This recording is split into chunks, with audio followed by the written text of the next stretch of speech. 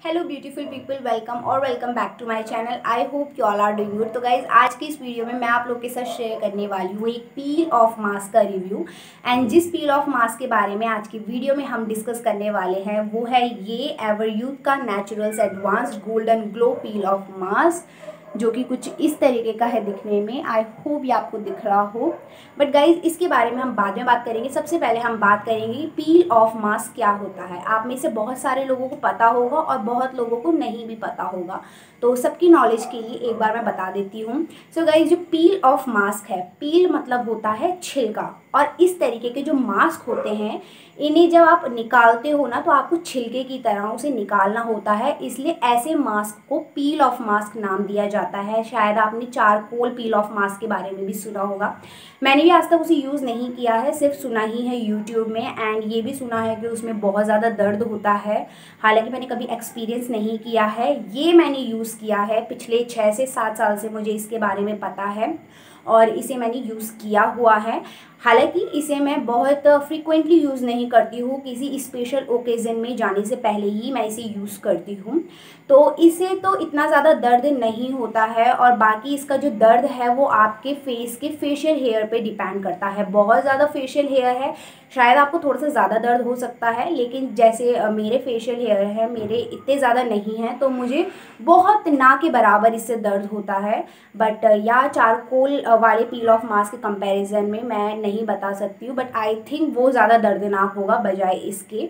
तो गाइज़ अब मैं आपको बताती हूँ इस पील ऑफ़ मास्क के बारे में।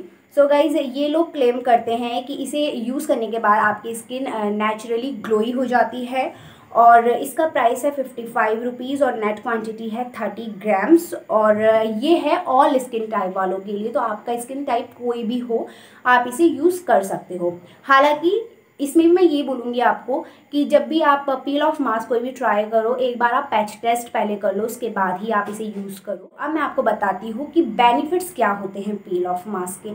So guys peel off mask के ये बेनिफिट्स होते हैं कि अगर आपकी स्किन में बहुत ज़्यादा सीबम प्रोड्यूस होता है, बहुत ज़्यादा आपकी ऑयली स्किन है एक्सेसिव मात्रा में आपका ऑयल प्रोड्यूस हो रहा है तो उसे रिड्यूस करने में, उसे कंट्रोल करने में ये बहुत ज़्यादा हेल्पफुल होता है। प्लस आपकी स्किन में जितना भी डर्ट होगा, उसे ये बिल्कुल रिड्यूस कर देगा।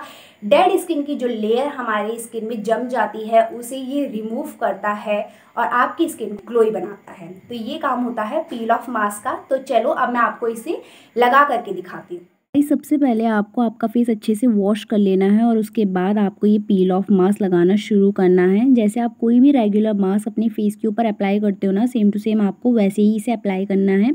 बस यहाँ पे आपको ध्यान ये देना है कि इसकी ज़्यादा पतली लेयर आपको अपने फेस के ऊपर अप्लाई नहीं करनी है। थोड़ी सी आपको मोटी लेयर अप्लाई करनी है ताकि जो आपका मास्क है, ये जब ड्राई हो तो ये आसानी से निकल जाए।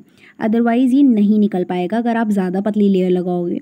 और गाइज़ इस मास्क के ऊपर लिखा हुआ है कि इस मास्क को आपको पंद्रह मिनट के लिए लगा के रखना होता है उसके बाद आप निकाल सकते हो। बट मैं आपको ये बोलूँगी कि जब तक आपको फील ना हो कि आपका मास्क पूरी तरीके से ड्राई हो चुका है, तब तक आप इसे ना निकालें। सेकेंडली ये जो मास्क है, ये बना हुआ है ऑरेंज से और गाइज़ आपको पता होगा कि ऑरेंज हमारी स्किन के लिए कितना ज़्यादा बेनिफिशियल होता है। जिन लोगों को नहीं पता है, उनकी नॉलेज के लिए मैं आपको एक बार बता देती हूँ कि गाइस जो ऑरेंज होता है, ये स्टॉप करता है हमारे रिंकल्स की प्रॉब्लम को, हमारी एंटी एजिंग की प्रॉब्लम को ये रिड्यूस करता है प्री मेच्योर एजिंग की प्रॉब्लम को ये रिड्यूस करता है और हमारी स्किन को ये अच्छे से एक्सफोलिएट करता है। सो so गाइज़ आप देख सकते हो, हमारा मास्क अच्छे से ड्राई हो चुका है और अब मैं इसे धीरे धीरे निकाल लूँगी।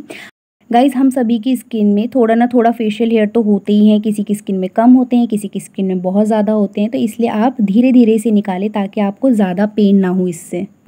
गाइज़ एक और चीज़ यहाँ पे आपको ध्यान देनी है कि जब भी आप पील ऑफ़ मास्क को निकाल लो ना तो उसके बाद आपको फेस वॉश करने की ज़रूरत नहीं है, इसलिए आपको फेस वॉश इसके बाद नहीं करना है। अब मैं आपको बताती हूँ कि किस तरीके से आपको इसे कहीं स्पेशल ओकेजन में जब आप जा रहे हो, उसे किस तरीके से यूज़ करना है। तो गाइज़ जिस दिन आपका स्पेशल फ़ंक्शन है, आप उसी दिन इसे यूज़ ना करें, उससे एक दिन पहले आप यूज़ कर लें, क्योंकि आपको पता होगा कि जैसे हम फेशियल करते हैं या फिर कोई भी प्रोडक्ट अप्लाई करते हैं डायरेक्टली हमें उसका पता नहीं चलता है डायरेक्टली हमें कोई भी रिज़ल्ट देखने को नहीं मिलता है।